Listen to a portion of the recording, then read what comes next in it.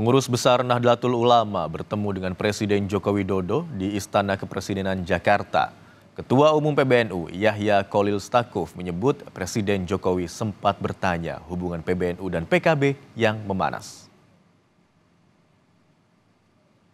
Gus Yahya menyebut Presiden Jokowi menanyakan apa yang terjadi antara PBNU dan PKB.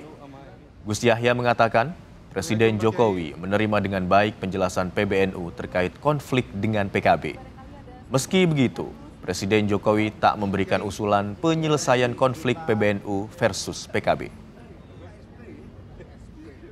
Iya, ya tadi disinggung sedikit beliau bertanya lah ya, ini ada apa dan kami jelaskan, kami jelaskan semuanya dan beliau bisa pahami menerima dengan baik. Ada solusi yang disarankan? Sendiri solusinya.